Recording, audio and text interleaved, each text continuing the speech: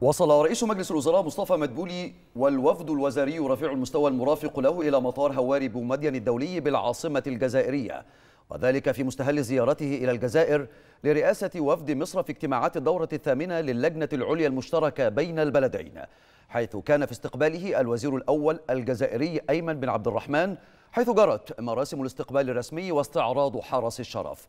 بدوره أعرب مدبولي عن سعادته بالتواجد في الجزائر لرئاسة وفد مصر في الاجتماعات التي تستهدف تعزيز مجالات التعاون الثنائي بين البلدين الشقيقين. من جانبه أكد الوزير الأول الجزائري اعتزاز بلاده بالعلاقات الوطيدة مع مصر والحرص على تعزيز مجالات التعاون بما يعود بالنفع على شعبي البلدين.